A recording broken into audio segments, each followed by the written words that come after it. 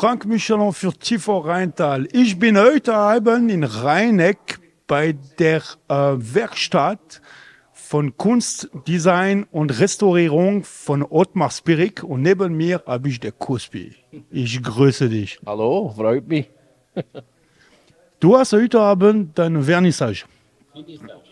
Finissage.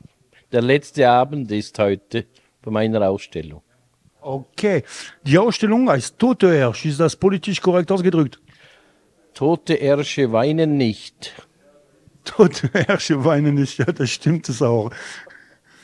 Kuspi, als Künstler, du bist ein bekannter Name in Rheintal. Die erste Frage, was ich gern stellen würde, wie ist das zu Kunst gekommen? Wie hat das alles angefangen?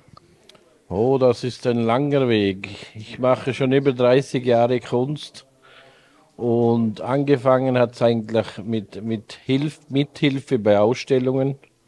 Und nachher habe ich selber eine große Ausstellung, die Rheinart 97, inszeniert am Rhein bei uns zwischen Wittnau und Lustenau.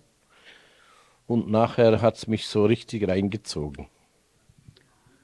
Was Kunst angeht, bist du sehr vielseitig. Machst du Malerei, machst du Bildhauerei? Und als welche Art von Künstler wirst du dich selber bezeichnen?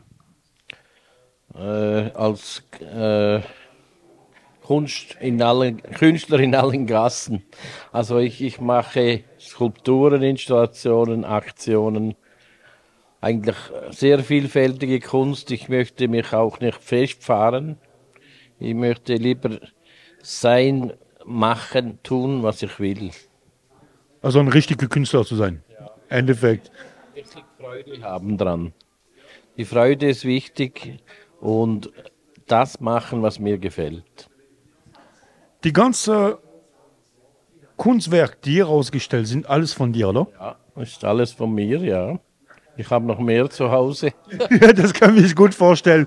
Ihr werdet sowieso bei der Sequenz, äh, dass ich gefilmt, die ganze, die ganze Werk von Kuspi zu sehen. An, ich habe selber dein Werk beobachtet. Wir haben uns kennengelernt bei der äh, Kunstmesse damals. Das war auch sehr interessant. Es gibt dafür auch einen Bericht, das ihr auf YouTube sehen könnt. Sehr schön, das war ein sehr angenehmer Tag. Würdest du dich selber als Provokateur bezeichnen, in deiner Art und Weise Kunst zu machen? Provokation ist, ist schön, wenn man das herbringt, aber manchmal ist es äh, auch anstrengend, wenn man Leute provoziert, weil da gibt es böse Anrufe und böse Briefe. Aber mit dem muss man leben. Ich, ich möchte ja die Leute herausfordern mit meinen Arbeiten und, und das macht eigentlich Freude. Also künstlerisch herausfordernd in die Tatsache, dass man von, von, von der Kreativität ein bisschen die Leute herausfordern, oder? Ja, oder von der Aussage her. Die Aussage ist mir sehr wichtig. Meine Kunstwerke sagen immer etwas aus. Und ich möchte aber das nicht beschreiben unbedingt, sondern jeder macht sich ein Bild davon und jeder kann auch urteilen, ob negativ oder positiv. Ich liebe, ich liebe die Kritik. Es, es gibt immer, was der, was der Künstler fühlt. Aber das ist immer sehr wichtig, dass, dass die Kunstwerke auch von den Betrachter immer äh, interpretieren werden, oder? Was, was, ist, was ist deine Ansicht, was diesen Punkt angeht?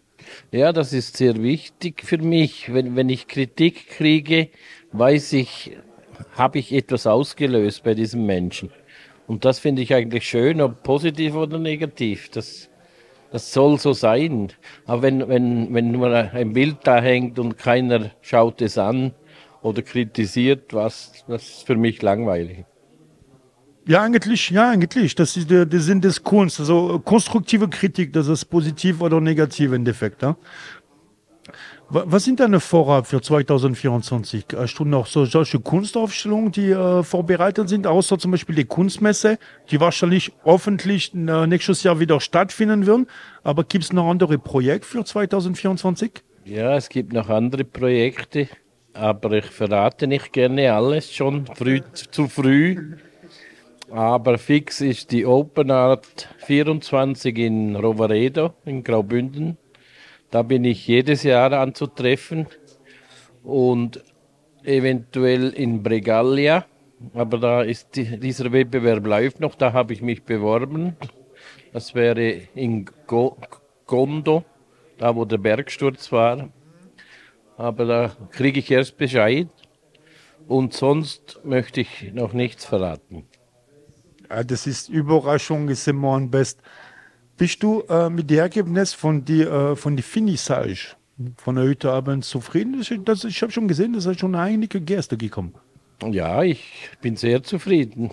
Ich habe viele Gesichter, die ich nicht gek gekannt habe, sind hier gewesen und einige, viele Bekannte auch.